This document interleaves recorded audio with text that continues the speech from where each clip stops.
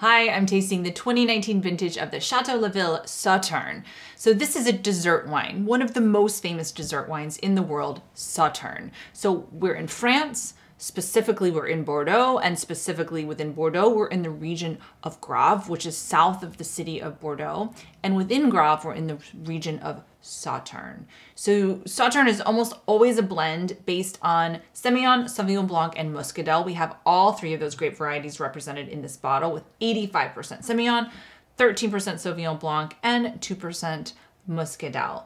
So these are very gravelly soils. Um, now, what makes this special though? Because we could have a bottle of Sauvignon Blanc from other places or a bottle of Semillon from other places, but it's not gonna taste like this. And that is because this is what's called a botrytized wine. It's affected by something called botrytis in the vineyard, which is a noble rot. Don't be afraid of this word. I know rot sounds scary, but it's actually a specific kind that attacks the grape skins and it actually concentrates the sugars and the acidity within the grape.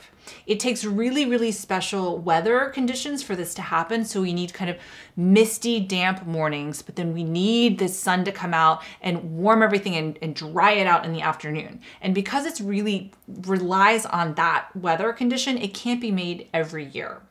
Now, because these botrytis is affecting these clusters, you can't, the grapes are all going to be in sort of a different condition, which means you can't just harvest whole clusters.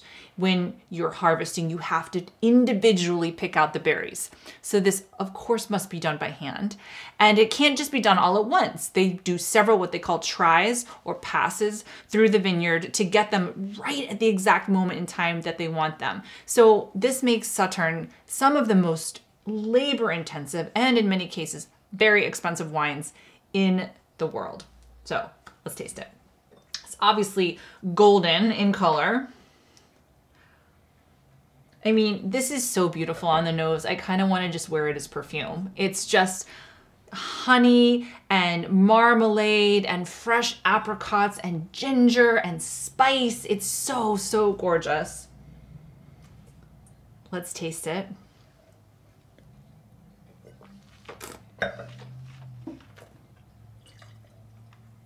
So what I'd like to point out about these styles of wine, Sauternes, is this has a lot of sweetness, right? This is a distinctly sweet wine. My mouth is still watering. It has that acidities as well. So the sugar and the acid kind of balance each other out. I call this pretty full bodied, maybe medium plus.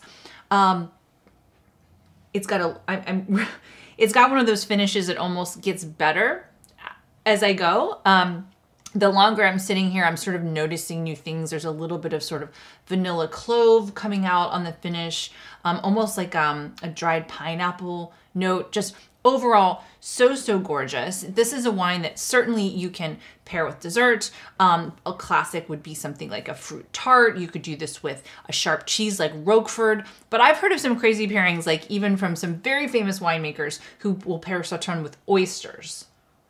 Something I've never tried, but if you're feeling adventurous, enjoy.